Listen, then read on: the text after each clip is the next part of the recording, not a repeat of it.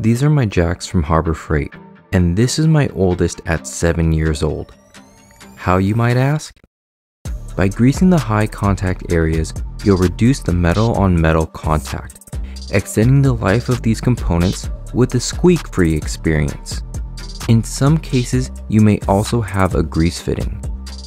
If your jack starts to lose power, don't panic. Just bleed your jack by loosening the fill screw, opening the valve, and pump the jack quickly several times. Here you can see an air bubble come out, but leave your screw on to minimize the mess.